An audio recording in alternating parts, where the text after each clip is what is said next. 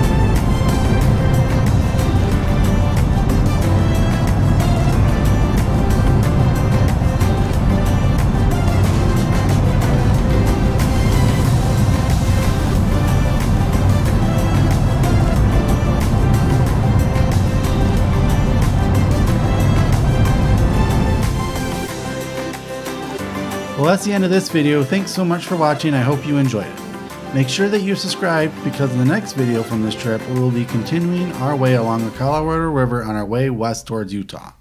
For now, thanks for watching, and until next time, stay adventurous.